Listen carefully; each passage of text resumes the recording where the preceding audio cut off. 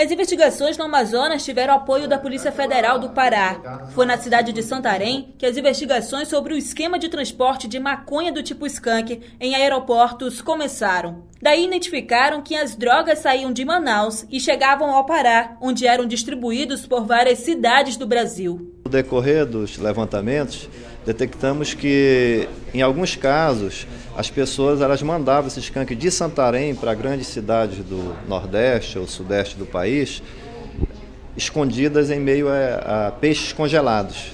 Esses peixes nos isopores né, escondiam a droga e, e enviavam via aérea. Foram nove mandatos de prisão preventiva sendo que apenas um não foi cumprido, e quatro mandados de condução coercitiva, sendo que todas as pessoas foram conduzidas, vão prestar esclarecimentos e serão liberados. E mais dez mandados de busca e apreensão que foram é, também cumpridos na data de hoje. A Polícia Federal acredita que o esquema da quadrilha era aliciar pessoas com acesso a empresas de transporte para facilitar a passagem de cargas suspeitas e burlar a fiscalização.